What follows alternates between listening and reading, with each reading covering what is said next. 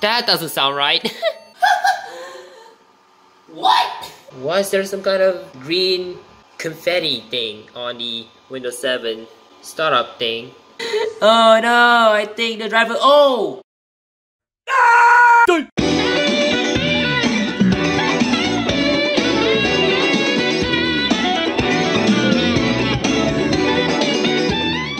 Hey guys, the TechOtaku here, welcome back to another video on the channel. Today we're gonna be taking a look at the Acer Aspire 4738G laptops. I asked someone that I can troubleshoot this thing, and I did it in the earlier video. Someone told me that it has some static thingamajig on the screen, and I've be like, huh, that might be something shorting out or something like that. But turns out the laptop is functioning fine when I plug in my mom's laptop charger on to this thing. Okay, so let's have a tour of this machine.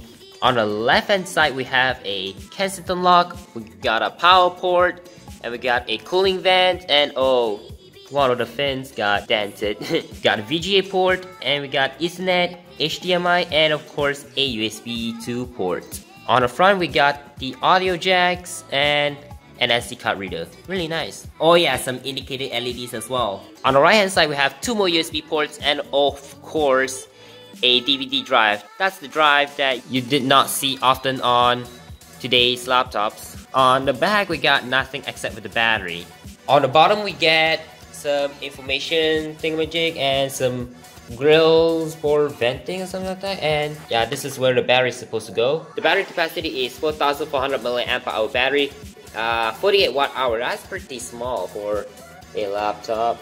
And we got windows 7 coa which got torn off when someone tried to peel off the coa and we got the info about this laptop it's the Acer Aspire 4738 yes that's 4738g on the lid it's textured. And there's an Acer logo right there. So I grabbed another textured lid laptop like this thing is the Asus A55VGA laptop with the Core i5-3210M processor which is essentially two generations newer than this laptop. They both have textured lid. this is like the musical texture like the Mate 20 Get that joke? Huh? Ha ha. Alright, I'm done. Well, is it doesn't sound like the musical texture.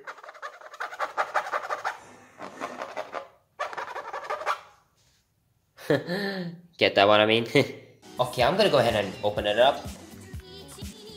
Okay, so this laptop had a glossy bezels and as well as a glossy screen, which I really hate about it. My Asus A43 SD laptop also had the glossy bezels and the glossy display. Speaking of glossy, the screen resolution is 1366 by 768. That's the resolution that I don't like even in today's laptop, some cheap laptops. And I prefer laptops to have 1600 by 900 or 1080p. And on the top, of course, we get a webcam. Alright, on the palm rest, we get a power button and a power LED right next to the power button. And of course, we get a chiclet style keyboard, which is not enclosed design. I don't know why Acer did, did this, but yeah. And now they move on to the chiclet style keyboard that doesn't have the enclosed closed case design. And we got some stickers here on there, but the shiny die thingamajig on the Core i5 sticker is wearing out. As you can see, we got a Core i5, Windows 7, and, and of course, the ATI Mobility Radeon HD 5470, 512 megabytes of video RAM. And there's a spec sticker, which someone never peeled it off. And we got the Aspire 4738G, Core i5 4060M, 14-inch HD LED display. It's a LCD, I think. ATI Mobility Radeon HD 5470. 4 gigabytes of DDR3 1066 I believe 500 gigabyte hard drive which I don't have right now Okay, there's some correction as I'm editing this video. Yeah, the drive that came with the Acer Aspire 4738G was a 500 gigabyte 5400 RPM hard drive with 8 megabytes of cache, manufactured in January 14th of 2014. This is not a factory drive. The factory drive actually failed, so that's why some computer technician decided to replace the drive with this. That's the drive that came with this thing. And of course, this drive had Windows 7 installed on this thing, and it does contain some personal data on. I'm not gonna touch on that because privacy reasons. So I decided to replace the drive with A 13 year old Hitachi Travelstar 60 gigabyte 7200 RPM hard drive that came with the Dell Latitude D620. This is a drive that has Windows 8 Pro installed on, and now I have Windows 8.1 Pro 64-bit on this drive. I don't know why I did that in the first place, but I, I shove a test drive in it just for the troubleshooting purposes. As you can see, the drive is much thicker than the HGST drive. Look at that. That's some difference right there. That's gonna be about it for the correction of this video, so yeah. And now back to the video. DVD drive, and of course Acer Nplify. I have no idea what that means. It's the Wi-Fi 8 to 11 BGN, and of course we have a 6 cell battery. Looking at the touchpad, it's a tad bit worn out. Look at that reflector. There's a bit of reflection. Touchpad has some wear on it, but other than that, the touchpad still works though. And we got two physical buttons that was embedded into one plastic.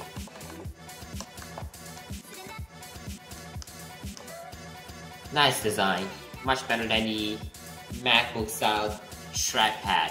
What do you expect from old laptops? Speaking of trackpad, the battery still holds a charge when I power it on.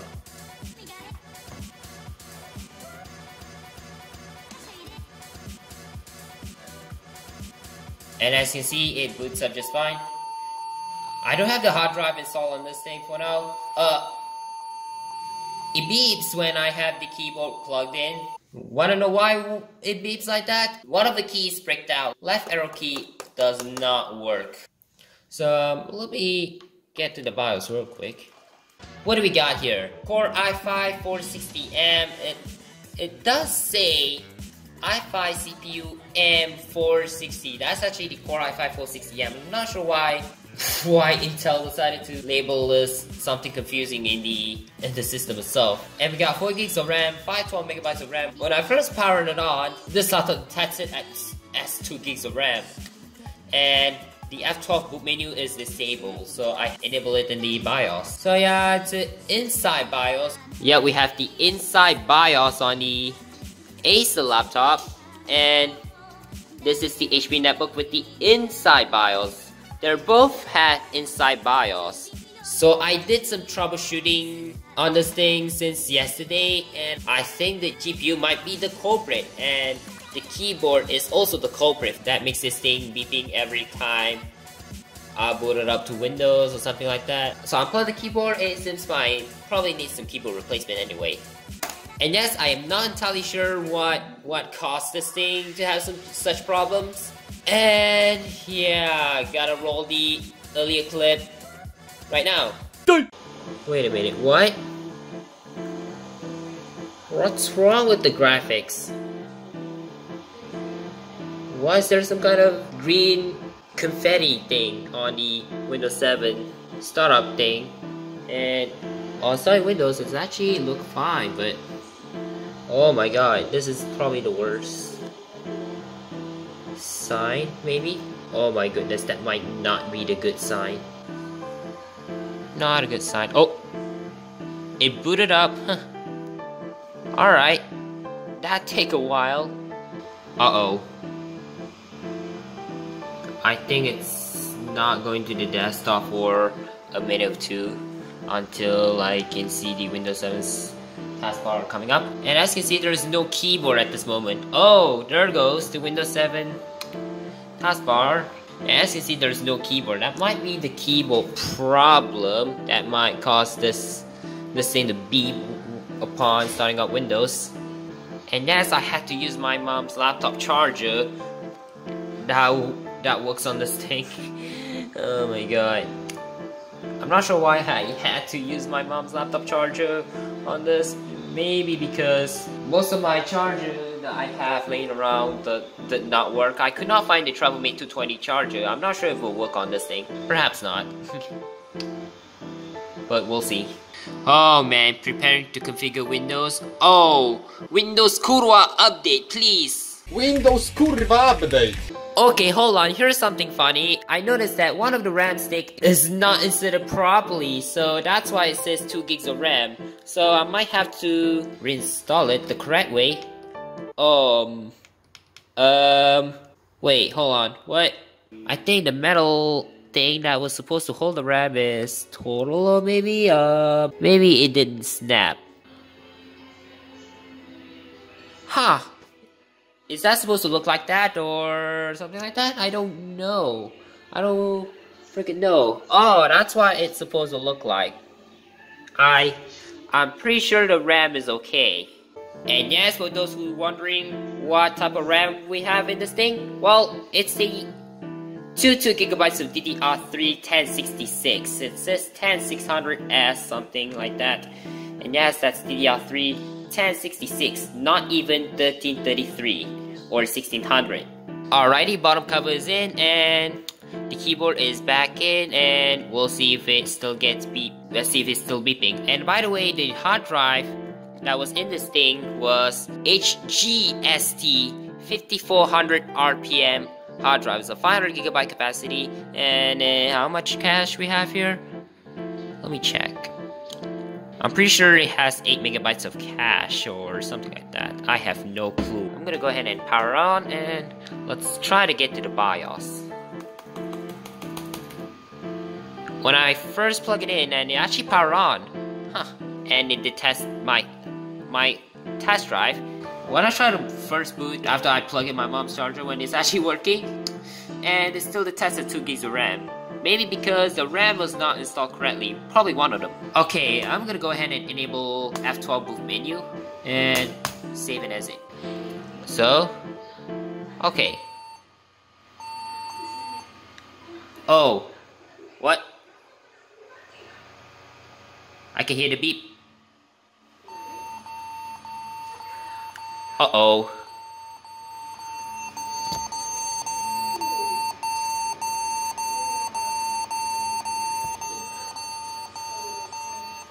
That doesn't sound right. it could be the keyboard freaked out.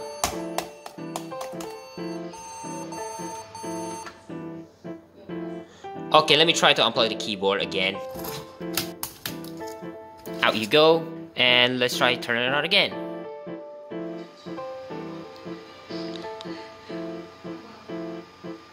It did not beep this time, and it does boot to my Windows 8 test drive. Let me plug my Mac keyboard real quick. And my wireless mouse as well because, well, honestly, I prefer external mouse over touchpad because, you know, touchpad is not that practical. And yes, my, my laptop's touchpad is just plain trash. But on this Acer touchpad, it actually doesn't feel too bad. And it does have two physical buttons and it's not too noisy compared with mine. Huh. Sometimes my right click is not registering. So yeah, that's why I use external mouse. Okay, we're booted up to the Windows 8 test drive. I'm gonna put on a tripod real quick. Okay, we're into the Windows 8 lock screen, so I'm gonna go ahead and Control Alt Delete to log me in and Hey, that's a good old Eurocam avatar. Okay, we're into the Windows 8 start screen as usual. Windows 8 Pro build 9200, that's, that's what I have on my test drive. Okay, so what do we have here?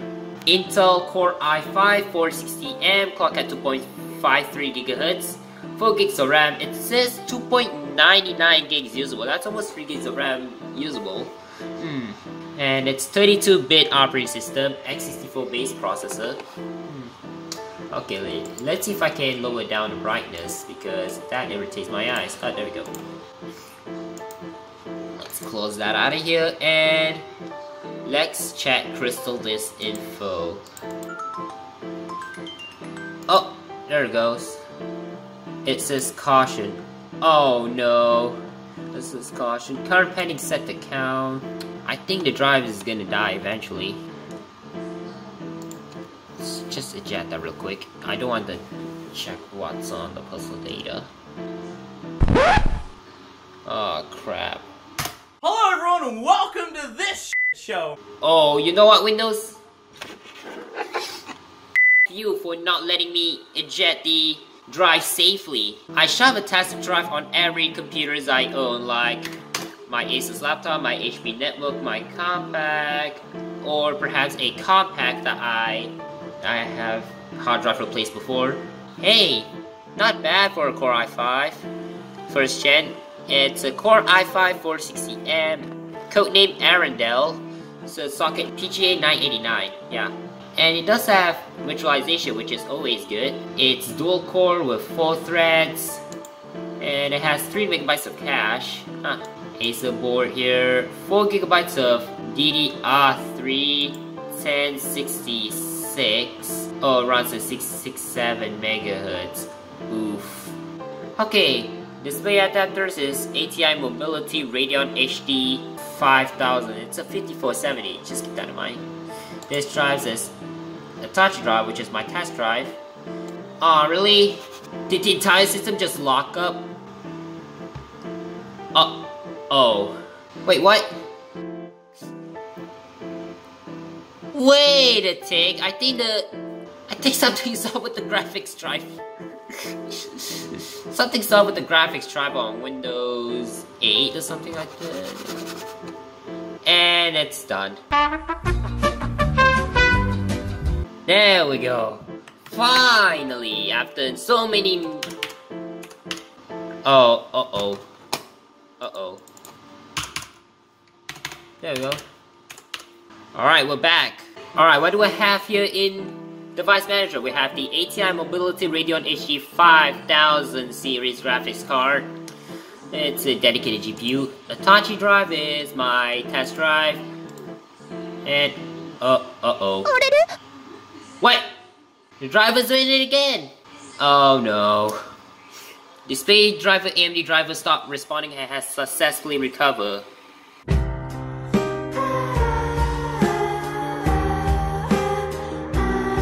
Yikes. oh no! Oh no! Something's not right with the jump spot. Oh. Okay. Let's try do this again. But this time I'm gonna try to navigate to audio inputs and devices. We have HD Realtek HD audio devices if I remember correctly. Huh. And we have four stuff in here. Core i5 460M. Nothing so special. Imaging devices. 1.3 megapixel webcam. Ugh, that's a potato quality, like my Asus laptop was software devices, nothing too special. Storage controllers, uh-oh, the driver's gonna crash. Yep, I knew it. oh no, I think the driver, oh! Okay, something's not good with the video drivers right now. oh my god. And yes, we got blue screen death. I just said oh that fast because it scared the crap out of me. And as you can see, we have some bunch of confetti here. There's a bunch of white confetti on the Windows 8 BSOD. That's not good. Oh no. oh no. And yes, I had to cut the clip earlier when I got this screen is because my mom decided to yell at me. She told me to stay quiet because, you know, Someone's sleeping. Oh, I didn't mean to do that. Why? Why would I do that in the first place? oh my god. we can see some more confetti here. Oh no. So I'm gonna turn it off for now. Okay, so I'm back from the dinner and I'm gonna go ahead and install Windows 10 on a test drive. So I have no choice but to remove Windows 8 Pro and then put try to put Windows 10 on this thing. So let's see if I have my Windows 10 disk here. And yes, I do have Windows 10 64-bit anniversary update. CD here. I downloaded the ISO straight from Microsoft, so I'm gonna boot to the DVD drive. I hope the drive is working. So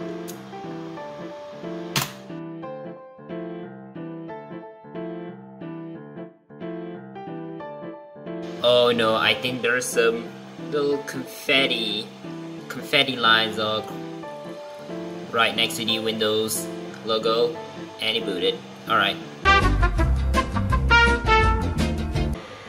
Epic. More, more, more confetti. Thingamajig on the 8.1 wallpaper, huh? Okay, we're booting back up and oh my god, look at that artifacts. Cool. that was so terrible. That's not good. Every time I move the cursor, uh, it, it just going worse. oh my god! What? What? What? what? I mean, look at this. Even I go to the start screen, it, it's I can still see the artifacts. Oh no. Oh god, this is beautiful. I think the GPU is dying already. I can sense that. Gotta love seeing the artifacts. Huh. Microsoft Basic Display Adapter. No drivers installed yet. And yes, that's my mom's tablet notification. Even with the Microsoft Basic Display Adapter driver, it, I still get artifacts. the graphics card is about to die, really. Okay, I have connected to the internet and then, oh, it automatically installs. Try it out. Oh no! Yikes! what? Oh my god. Something's not right. I did connect to the internet and then it installs video driver automatically sometimes. Oh, there it goes. Good thing I caught it on camera. oh. what the hell? oh no! What the hell? Oh, what just happened? I'm dying. Okay, I'm in the safe mode just because something's up with the graphics and it automatically installed this driver. It worked fine with Microsoft Basic Display Adapter but with some artifacts for some reason. After this driver got automatically installed, it decided to give me some glitch. Like, I'm not sure why. So I'm gonna go ahead and uninstall the driver and then we're gonna reboot.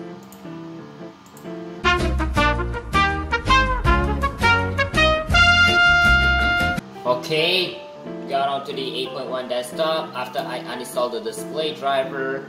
I'm pretty sure it will automatically install the driver again. I highly doubt that. There we go. Yeah, she didn't. Alright, I'm gonna try to search automatically. Let's see what happens. There we go, and the Mobility Radeon HD 5000 series. Let's see if we can just give me the same issue. oh, we can see a little bit of red dotted lines on the center and some pretty confetti lines on the device manager window. Oh my god. GPU is dying, guys. Astonishing.